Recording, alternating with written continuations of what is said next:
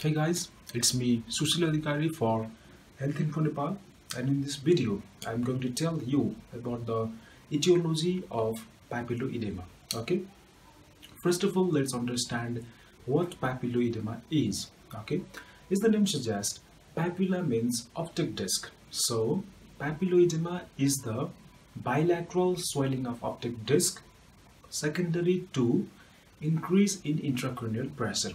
Okay in that definitions we have to remember three things. Papilloedema is the bilateral okay? It involves both eyes. It is it involves the swelling of optic disc okay? It, it involves edema or swelling of optic disc and it should be due to increase in intracranial pressure okay?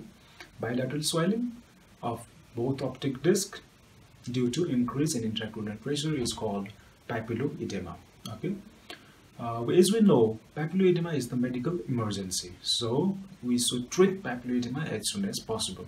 And one thing we should uh, we can't forget about papilloedema is in papilloedema lumbar puncture is absolutely contraindicated because is it is the result of increase in intracranial pressure. As we tap the fluid from lumbar region the brain tissue will herniate. Okay as the brain tissue will herniate, the patient may die instantly. So, if we suspect papilloedema, lumbar puncture should be contraindicated. Okay. Now, uh, most of the people get confused between papilloedema and papillitis. Okay. Both involves the optic disc, both involves the swelling or both involve the swellings of optic disc. But what is the difference between papilloedema and papillitis? Okay papillitis is the it is the inflammatory condition of optic disc okay? Papillitis can be due to either the infections or demyelinating disease okay? But papilloedema is always due to increase in intracranial pressure okay? There is no role of increase in intracranial pressure in case of papillitis. So papillitis is a different kind of disease okay and another important difference between these two diseases is papillitis uh, involves mostly involves one eye or both eyes, but the papilloedema involves both the eyes. Okay. So now uh, let's go to the etiology of papilloedema. Okay. As we have discussed earlier, papilloedema is due to increase in intracranial pressure. Okay. Any disease that causes increase in intracranial pressure may lead to papilloedema for example okay? Congenital anomalies like congenital anomalies like stenosis of aqueduct aqueductal stenosis or craniosynostosis okay? Craniosynostosis may lead to the papilloedema okay?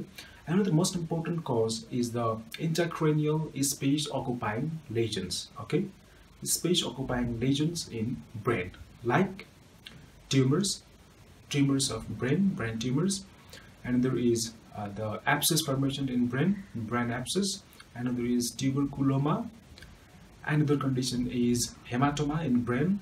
Another condition is aneurysm. Okay, these conditions may predispose the patient to papilloedema. Okay, mostly what happens is uh, the lesions that occurs in cerebellum, midbrain, and parieto-occipital lesion, parieto-occipital region produces the papilloedema earlier than the lesion that are located elsewhere in brain okay?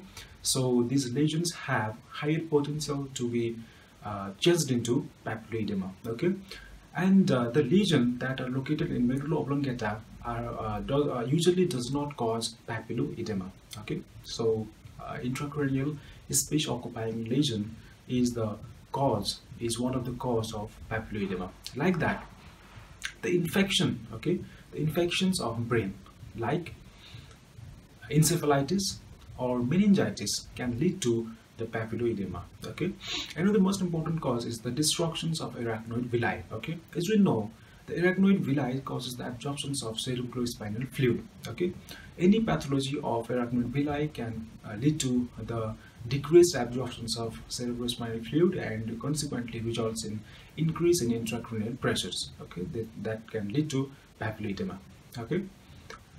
And another most important cause is the hemorrhage. Okay? It can be uh, the subdural hemorrhage it can be subarachnoid hemorrhage or it can be intracranial hemorrhage can lead to papilloedema another most important cause is the even the spinal cord tumor. Okay? Tumor of spinal cord can give rise to papilloedema okay? And another disease that cause papilloedema is idiopathic intracranial hypertension okay? It is also known as idiopathic intracranial hypertension is also known as pseudotumor cerebri okay? It is a this commonly known disease and usually affects the young woman okay? In this conditions also patient may develop papilloedema okay now another cause another conditions uh, that predispose the patient to papilloedema is the systemic disorders like malignant hypertension. In malignant hypertensions or the pregnancy-induced hypertensions or cardiopulmonary insufficiency or even the nephritis can lead to papilloedema okay? Another most important cause is the cerebral sinus venous thrombosis okay papilloedema. Another most important cause is the brain edema okay cerebral edema due to blunt force injury. These uh, conditions this clinical this disease may cause the papilloedema okay.